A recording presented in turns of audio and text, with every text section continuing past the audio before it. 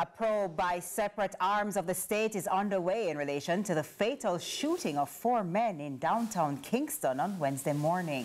Now, it is alleged the group of men met their demise after attacking police officers who were responding to explosive outbursts in the area. Here's Natalia Clarke. By the look of this, all seems well. Just another day on the bustling streets of downtown Kingston.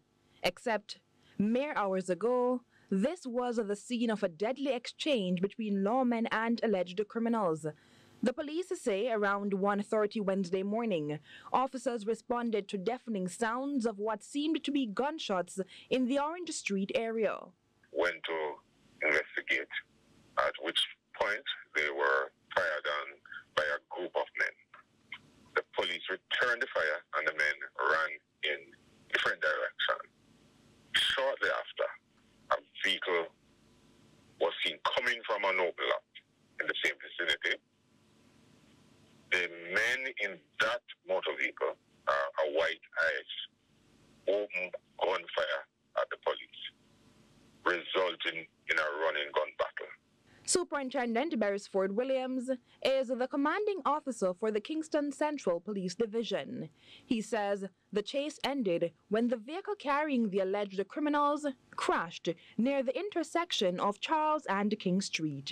The men alighted from the vehicle, continued firing at the police. The police returned the fire. At the end of the shooting, three men were found at the location. Subsequent search of the area resulted in a, in a fourth body being found. The men were found with three 9mm pistols and two M16 rifles were found in their car. Their presence in the area is suspected to be connected to a recent murder. We were in the space with heightened attention because of some um, because of a murder that occurred last week, um, and we have beefed up further the uh, presence in that space. Uh, is the police theorizing, or is there any indication that this, you know, the shooting that the police walked into would have been connected to that murder, or any theories as to what was happening there prior to the arrival of the officers? We highly suspect that it had something to do with that shooting.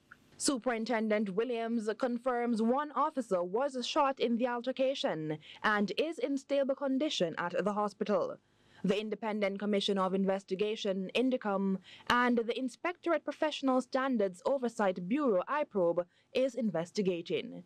Natalia Clarke, CVM News.